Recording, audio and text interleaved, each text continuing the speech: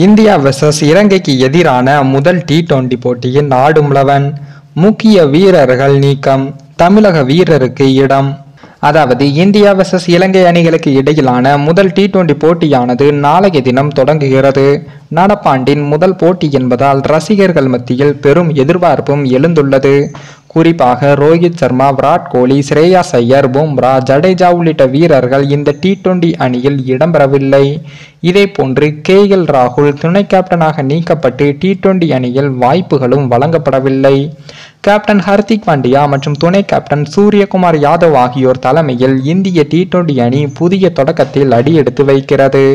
T twenty உலகக்கோப்பையில் இந்திய அணி தோல்வியை தழுவியதற்கு முக்கிய காரணமாக கருதப்படுவது தொடக்க ஜோடிதான்.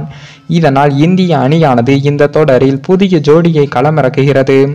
இசான் கிசான் சத்மன்கள் ஆகியோரை விளையாட வைக்க உள்ளது.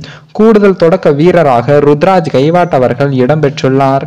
இதே போன்று நடுவரிசையிலும் முற்றிலும் இளம் வீரர்களுக்குத்தான் வாய்ப்புகளும் வழங்கப்பட்டு உள்ளது. துணை கேப்டன் சூரியகுமார் யாதவ் நம்பர் மூன்றாவது வீரராக களமிறங்குகிறார். இதே போன்று நட்சத்திர வீரர் ஜஞ்சு சாம்சன் இந்திய அணிக்கு திரும்பியுள்ளார்.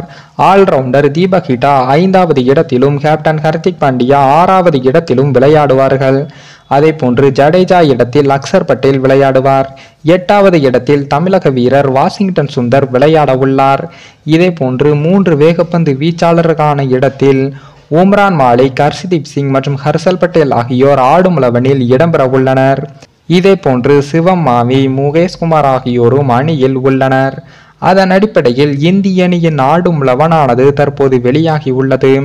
அதில் முதலாவதாக சப்மன் கில்லும் இரண்டாவதாக இசான் கிசானும் மூன்றாவதாக சூரியகுமார் யாதவும் நான்காவதாக ஜந்து சாம்சனும் ஐந்தாவதாக தீபகிட்டாவும் ஆறாவதாக ஹர்திக் பாண்டியாவும் ஏழாவதாக வாஷிங்டன் சுந்தரும் எட்டாவதாக அக்சர் பட்டேலும் ஒன்பதாவது வீரராக ஹர்ஷல் பட்டேலும் பத்தாவது வீரராக ஹர்ஷதீப் சிங்கும் பதினொன்றாவது வீரராக உம்ரான் மாலிக்கும் இடம்பெற்றுள்ளனர் மேலும் இந்த ஆடும் லவனானது இந்திய அணிக்கு கை கொடுக்குமா என்பதை பற்றி நீங்கள் என்ன நினைக்கிறீங்கன்னு உங்களது கருத்துக்களையும் கமெண்டில் தெரிவிங்க. மேலும் இந்த வீடியோ பிடிச்சிருந்தா லைக் பண்ணுங்க ஷேர் பண்ணுங்க. மறக்காமல் நம்ம சேனலை சப்ஸ்கிரைப் பண்ணுங்க. தேங்க்ஸ் ஃபார் வாட்சிங்